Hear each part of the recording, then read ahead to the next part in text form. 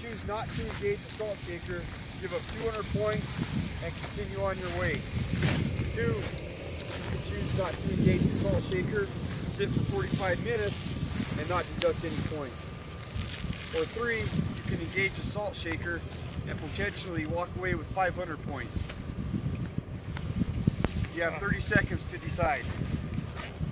Only one team member can engage a Sault Shaker. Want to.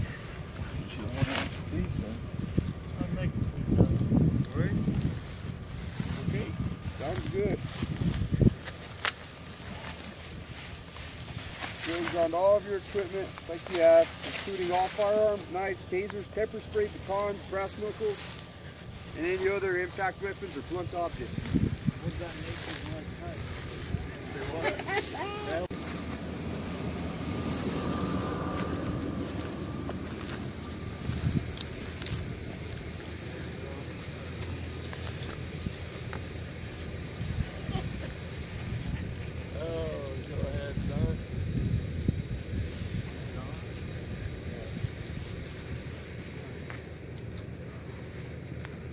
All right, your rules engagement. Have 45 seconds to successfully wrap up and fully clasp your hands around the upper torso of the Sault Shaker. The Sault Shaker will attempt to prevent this by means of blocking your movements. Do not punch, kick, bite, scratch, gouge the Sault Shaker. Also, no elbow, knee, knee strikes to any part of the body. The engagement needs to take place standing up. You're gonna run this about 50, 60%, not 400%. You don't want you guys getting injured. Don't want him getting injured, okay? Yeah, yeah. So uh, you just, I just gotta do this. That's it. Okay. Lock, grasp them like that.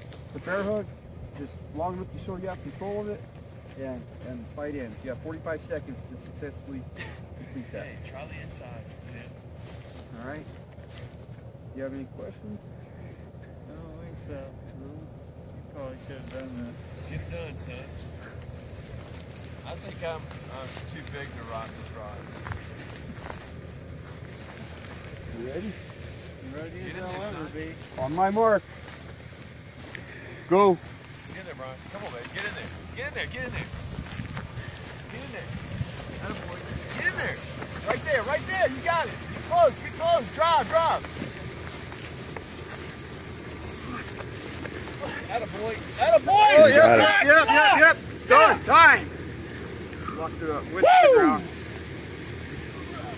Good job, son. Good job, son. Whatever energy I had.